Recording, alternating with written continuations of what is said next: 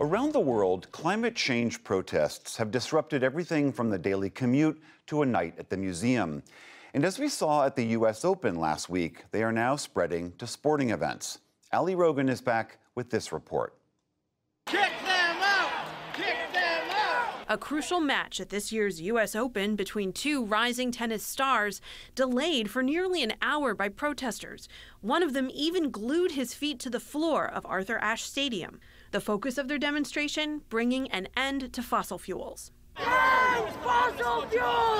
More and more climate change activists are using high profile sports events as megaphones to spread their message to wider audiences, disrupting NBA games, soccer matches, even play on Wimbledon's storied grass courts. Matt Woosnam writes for The Athletic. The UN have warned that the climate crisis is out of control. Um, I think that sort of caused people to join these groups and to make their voices heard in a different way. A skydiver dropping in on the European Soccer Championships, protesters releasing orange dust during a major English rugby tournament, and arrests at golf's British Open and England's Grand National Steeplechase all play to captive audiences. You know, millions of people watch this, so there's already a platform there for them to be able to get their message out. For some, the protests seem counterproductive. After protesters invaded the track during the opening lap of last year's British Grand Prix, Formula One driver Lewis Hamilton said he was all for peaceful protest, but this one endangered lives.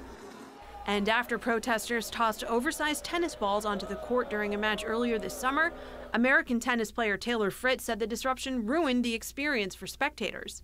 He joked that it actually made him want to take more flights on jets, which create more carbon emissions than any other form of transportation there are people in the climate activism movement who do believe that actually what these people are doing is actually counterproductive and they're not saying don't protest but they're saying don't do it in the way that these activists are doing Sports leagues and organizations are trying to discourage these demonstrations, working with authorities to develop protocols for dealing with them and telling both players and fans not to take matters into their own hands and let security deal with it. But for now, the protesters believe the disruptions are achieving their goals.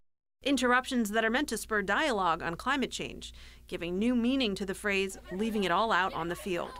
For PBS News Weekend, I'm Ali Rogin.